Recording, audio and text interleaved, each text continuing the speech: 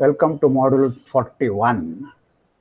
Today we shall take up three more interesting properties.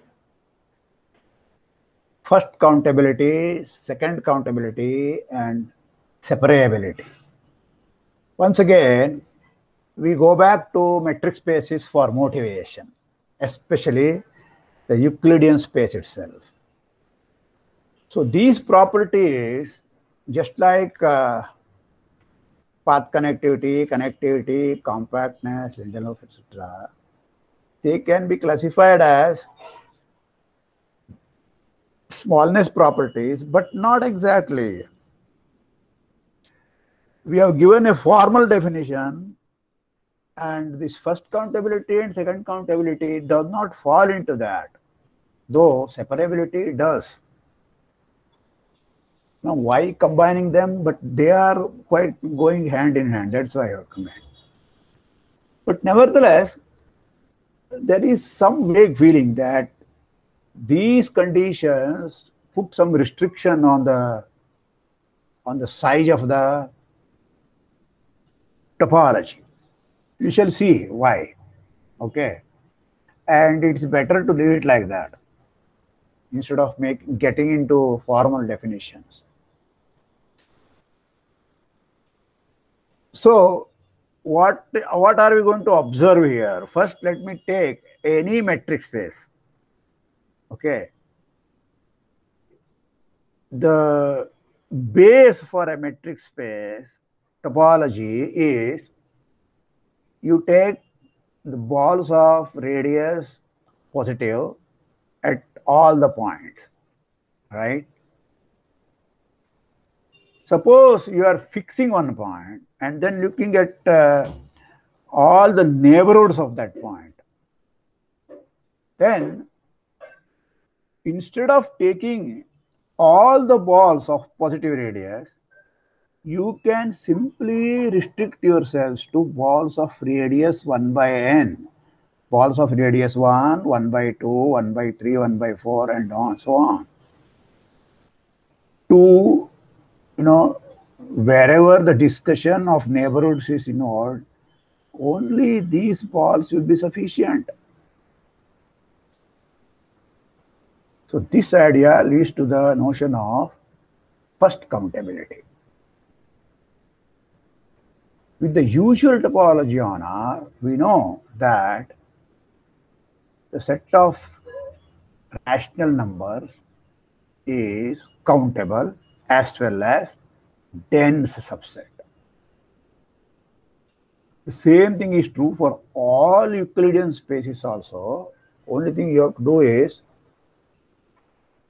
you take all points such that all the coordinates are rational. That's also a countable set and it will be dense inside Rn. Okay, so this gives you another notion which is called separability. Okay, before going to the third one, let me state a theorem here for metric spaces. And then that will induce the, the second definition. Okay, the third definition. Start with any metric space with a countable dense subset A just like Rn. But now I am generalizing it for any n, for any metric space, all that I want is a countable dense subset, similar to Q or points with rational coordinates and so on. Okay. With this just with this much of hypothesis, I want to conclude the following thing. Then there exists a countable base for the topology X. Okay? D is a metric space. So d is a metric. And the topology x tau d has the property that it has a countable base. In particular all euclidean spaces have countable base So what does it mean? It means that every open subset is union, arbitrary union, but the members coming from a fixed countable set. That is the that is the beauty. So that already puts a lot of you know restricted condition on the topology. It doesn't say, remember, it doesn't say that number of open sets is countable. No, because you are taking arbitrary union. But now all the open subsets are unions of members from a one single family of countable sets. So that is a countable base. Okay, so that's quite strong condition. So how to prove this one? It's one line proof. Put B equal to collection of all balls of radius 1 by n, not at all the points, but only at the points of A, where A is a countable dense set. So A is inside, little a is inside A, n is inside a natural number. Okay, this is a clearly a uh, countable collection because A is a countable set and n is also a countable set. So there are two different variables here, but n cross n is a countable set. This collection B is a base for a topology that satisfies B1 and B2. This does not need any extra, you know, hypothesis. I know this is this kind of things you have done, so you must do that one. Okay, that they form a base. It means what? Once you take finite intersection, two intersection of two of them, and a point there, show that there is a smaller one contained inside that at the point and so on. That kind of B1 and B2 you have to verify. So this I will leave it as an exercise. All these are open subsets in tau d, right? Therefore, Hmm. B, if you take the topology generated by B, okay, tau B, that is contained inside tau d because tau d is a topology after all. So what I want to show is that tau d is contained inside tau b so that this itself is a basis for tau b, tau d. Okay, and this is a countable. So that will end the proof. So, but this is one line proof again. Let u belong to tau d and x belonging to u. What I have to do? I must produce a member from this B such that X belongs to that member and that member is contained inside U. So choose R positive first of all, such that BR of X is contained inside you. Are, we are used to this one because every member of tau d is union of such members where R is any positive number. But once R is positive, there is a n sufficiently large such that 1 by n is less than r by 2. Okay.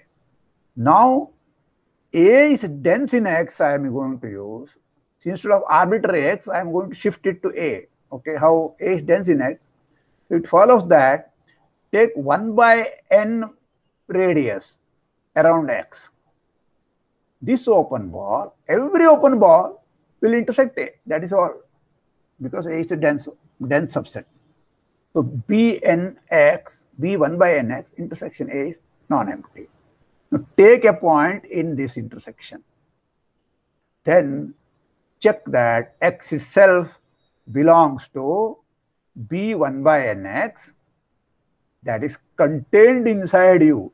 This part is obvious because x is inside this one means distance between x and a is less than 1 by n. So it is symmetric. So this is here. But why this is contained inside U? Because I have chosen 1 by n less than r by 2 triangle inequality over. The gist of this is that we are going to take this as a definition of having such an A which is countable in dense. This is going to be separability. And we are going to do that b1 by n's huh? at each point, only countable thing. I am going to take the first countability. This gives you a big thing, namely, there's a countable base for the whole topology. there's a global base. So that gives you the third definition, which you are interested, which calls second countability. okay.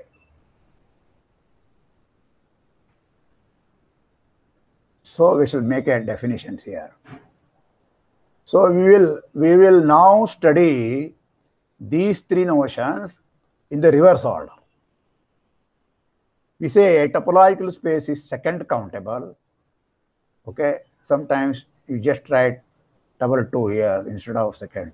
Okay, if it has a countable base over. A topological space is said to be separable if there exists a countable dense subset over.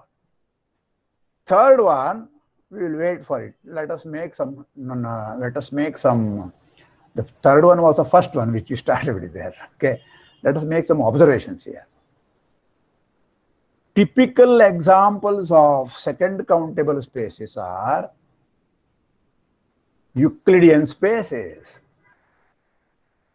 All that we have to do is consider the family of all balls with radius with uh, rational radius and centers at rational coordinates. When I say rational coordinates, all of them should be rational. Okay. So you can also see that finite product of second countable spaces is again second countable. Because if you take a countable base, okay, countable base here, members from here to cross that one, they will generate, they will give you base for the product. So countable cross countable is uh, countable again. So finite products are countable every subspace of a second countable space is second countable. If you can generate all the members of the bigger space, okay, when you take subspace, look at, say, Y is a subspace of A, look at Y intersection members of B, B, B, where B is, so that will be a subbase for Y. Okay. So once again, this property is very important in analysis because it allows several countable processes, such as taking countable sums and integrations, etc. Because every open subset now will be union of from a countable family, right? So you can take U1, U1 union U2, U1 union U2 union U3. So any opens of any uh, union can be written as increasing union. So all these things are possible. Okay, so we shall first prove two easy consequences of this definition, namely second countability. Every second countable space is separable. That is why I took the other way around here. Okay, first I said second countable. The separability automatically comes here. So how? Start with a countable base for x. Okay. Let S be a subset of x which contains exactly one point from every member B of this curly B. One single point B inside B. For each B inside curly B. B is the curly B is the countable base for X. Okay. Since I have chosen one point from each of them, this S will be again countable. This S is a subset of X, by the way. Okay. This is a countable set. Okay claim is it is dense. S bar is the whole of X. What is the meaning of that? Given any point x belonging to X, and an open set U such that X belongs to U, there exists a B belong to B such that X contained inside B contained inside U. Okay. But that means U intersection S is non-empty. Okay. So that that B will have a point inside S, right? So B intersection S is itself is non-empty. So U intersection S is also non-empty. So what we have shown here is that it intersects every non-empty open subset and that is the density. Every second countable space is another thing. It is Lindelof. Remember what is Lindelof? Every open cover has a countable subcover. This also is very easy. Why? How? Take an open cover. I must produce a countable subcover, right? Yes or no? So how do I do that? So UI is some open cover for X. But let us say B is a countable base for X because X is second countable. Okay. Consider all members of B which are contained in some member of UI. Okay. So that is a subfamily of B. Some of them may be too large. One, it must be some, some member of UI, that's all. So only take those things, call it B prime. Clearly B prime is countable because it's a subfamily of B. Okay we claim that B prime itself is a cover for X. Automatically, this is a subcover because we have taken only some, some families from these members UIs. Each of them is uh, each of them is contained in some member of UI. So that will be automatically contained inside that. Okay. So all that I have to show is we claim that B prime is a cover for X. So let x belong to x be any.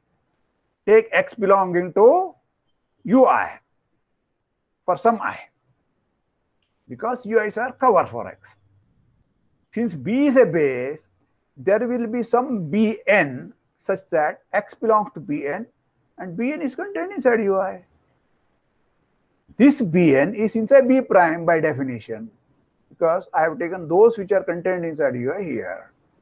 Therefore, X is contained inside only those B's which are inside B prime. Okay. Now, for each member B of B prime, choose one member UI which contains B.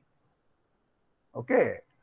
That forms a subfamily of UI which is clearly countable because I have chosen one for each Bn. And they are bigger subsets than original B, so they will cover X. Now I come to the first countability. Look at a topological space X.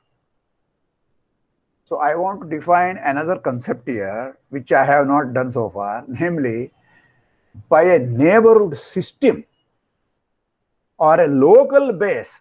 There are two names for the same concept. Okay. Some people are local base, some are neighborhood system. For at, at, at a point x belonging to x, we mean a collection of open subsets ui of x such that x is inside ui for every i. Okay, so they are all neighborhoods.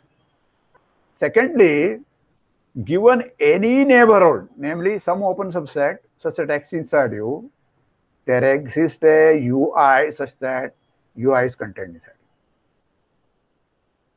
So this part is similar to base.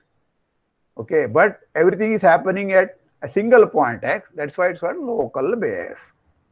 That is all. Okay. Away from x, this x is fixed. Away from x, this collection may not have that property. For only for neighborhoods of x, x belong to you, you will have a UI which is contained inside. So it's called a local base. Okay. Clearly, collection of all neighborhoods of a point forms a neighborhood system. You are very generous in taking all of them here, then, then it's no problem. But this system may be unnecessarily huge. And so we are looking at cases when there are neighborhood systems which may be countable. And that is the, the third definition for today. We say a space X is first countable at X belonging to X if it has a countable local base at X. If this happens at every point, then we will say X is first countable. Now, we said second countability implies separability, we have seen. Second countability implies first countability also. Because if we have a global base which is countable, global base is always a local base also. Right? Therefore, second countability implies first countability. So second count out of these three, second countability is the strongest. Okay. So Once again, a typical example of a first countable space is any metric space. No, no need to take Euclidean spaces. Of course, Euclidean spaces are first countable. Okay, that was our motivation. All that we have to do is take balls of radius 1 by n at each point. Point is fixed. Take all the balls of radius 1 by n. That will be a first, that will be a countable base. Countable local base. Every second countable space is first countable. That I observed already. The converse need not be true. If that was the case, then we won't have two different definitions here. Okay. Easy counterexample is obtained by taking a discrete topology on an uncountable set. Okay. An uncountable discrete topology cannot have a countable base. Think about that. Whereas a discrete topology, each singleton is an open set. So I can just take that open set, namely singleton, as a local base. That's all. One single set will give you a base, local base. Okay. The importance of this local base, okay, is more or less due to the following fact it allows us retain the notion of sequential continuity intact. Intact means what? Sequential continuity was true inside metric spaces.